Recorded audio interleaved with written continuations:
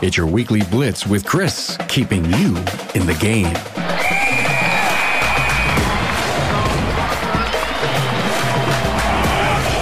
Good morning, everyone. Coach Chris Cotton here from AutoFix Auto Shop Coaching, where I work hard to support your auto repair shop success. As you get into today's episode, you may know someone in your network who can benefit from today's topic. Please take time to share personally or through your social network. If you have an idea for a show topic or just want to talk, feel free to get with me, Chris at AutoFixSOS.com. So let's get started with episode 87 My Gift to You on My 50th Birthday. Hey, everybody. My birthday is November 20th. It's my 50th birthday. So happy birthday to me. You know, I feel like I'm in the prime of my life. If I doubled my years to 100, that would be awesome. But, you know, honestly, if I sit and think about it and reflect, I don't think I have that many years left. I do know that there are a lot of great people who didn't do really, really great things or didn't achieve success until after they turned 50. So I think the next 25, 30, however many years I get is going to be super awesome. And I can't wait to see how those go and where it went up. I was originally going to combine this with another episode, but when I was thinking about this episode, I wanted it to be about me as little as possible. And I was struggling with what to say and what to do and how to inspire everybody listening. And as I was struggling, I decided to set it aside and started working on notes for my next leadership podcast. And in that lesson that I was preparing to be the next one is the perfect story. And I would like to, this to be my gift to you. And so I want to share that with you right now. This is a parable written by a man named Jeffrey Davis. And, and here's what it says Says, The older I get, the more I enjoy Saturday mornings. Perhaps it's the quiet solitude that comes with being the first to rise, or maybe it's the unbounded joy of not having to be at work. Either way, the first few hours of a Saturday morning are most enjoyable. A few weeks ago, I was shuffling toward the basement with a steaming cup of coffee in one hand and the morning paper in the other. What began as a typical Saturday morning turned into one of those lessons that life seems to hand you from time to time. So let me tell you about it. I turned the dial up into the phone portion of the band on my ham radio in order to listen to a Saturday morning swap net. Along the way, I came across an older sounding chap with a tremendous signal and a golden voice. You know the kind of guy. He sounded like he should be in the broadcasting business. He was telling whoever he was talking with something about a thousand marbles. I was intrigued and stopped to listen to what he had to say.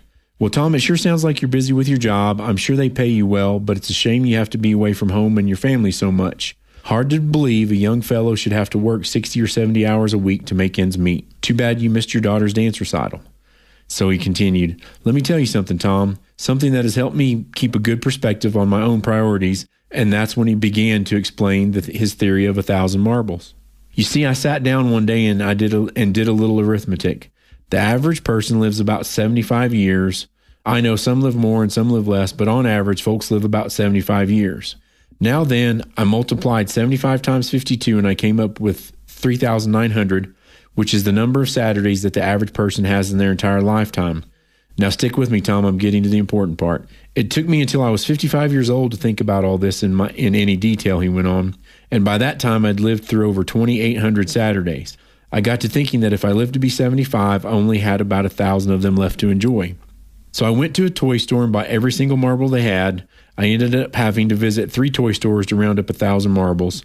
I took them home and put them inside of a large clear plastic container right here next to my gear. Every Saturday since then, I've taken one marble out and thrown it away. I found that by watching the marbles diminish, I focus more on the really important things in life. There's nothing like watching your time here on this earth run out to help get your priorities straight. Now, let me tell you one last thing before I sign off with you and take my lovely wife out for breakfast. This morning, I took the very last marble out of the container. I figure if I make it until next Saturday, then I've been given a little extra time, and the one thing we can all use is a little more time. Sure nice to meet you, Tom. I hope you spend more time with your family, and I hope to meet you again here on the band. You could have heard a pin drop on the band when this fellow signed off. I guess he gave us all a lot to think about. I'd planned to work on the antenna that morning, and then I was going to meet up with a few hams to work on the next club newsletter. Instead, I went upstairs and woke my wife up with a kiss. Come on, honey, I'm taking you and the kids to breakfast. What brought this on? she asked with a smile. Oh, nothing special. It's just been a long time since we spent a Saturday together with the kids. Hey, can we stop at a toy store while we're out? I need to buy some marbles. As I read this, and now you know, here I am, I'm 50 years old. So if I live to be 75, I've got about 1,300 marbles left. Awareness of this fact gives me even more motivation to manage my life and, and make the most out of the time I have left. I also want to share with you the words of writer and naturalist John Burroughs, who says, I still find each day too short for all the thoughts I want to think, for all the walks I want to take, for all the books I want to read, and for all the friends I want to see to conclude or here at the end, you know, when you have a strong sense of purpose, enjoy life, and possess an awareness of how brief life really is, the days always seem too short. And that's why you have to manage yourself effectively. Everything you do in your career, in your personal life, and in your leadership depends on it. That's a lesson I hope you learn earlier rather than later. Hopefully, you people less than 50 can get started now, and you people older than 50 can get caught up. If I give you nothing else, today or ever, then that's my gift to you on my birthday. AutoLeap is a cloud based all in one auto repair software that helps to keep complete track of your business, from scheduling appointments to managing technicians to generating invoices.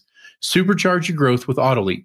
Customers that fully adopt AutoLeap see the following benefits in their first year 30% revenue growth, with top customers seeing over 100% growth, 75% decrease in no shows, allowing you to service more customers, three times increase in positive Google reviews, leading to stronger online presence, 50% time saved on administrative tasks, driving increase in operational efficiency. Do it all with AutoLeap. Key features and functions include estimates, invoices, scheduling, Google reviews, inspections, communication, QuickBooks, reporting. Get in touch with AutoLeap to see how you can transform your auto repair shop. For a limited time, if you schedule a demo, sign up with AutoLeap and they will waive the $250 implementation fee. Have a great day, everybody. This has been Coach Chris Cotton from AutoFix Auto Shop Coaching, reminding you that it never always gets worse, but sometimes it has to get worse to get better. Please feel free to reach out to me, Chris at AutoFixSOS.com, or give me a call, 940 400 1008. Time to rise and grind, everybody. Have a great day. You've been listening to the Weekly Blitz with Coach Chris Cotton on the AftermarketRadioNetwork.com. Follow Chris on your favorite podcast listening app. Let him know what you'd like him to cover. His email is in the show notes. Chris is all for advancing the aftermarket.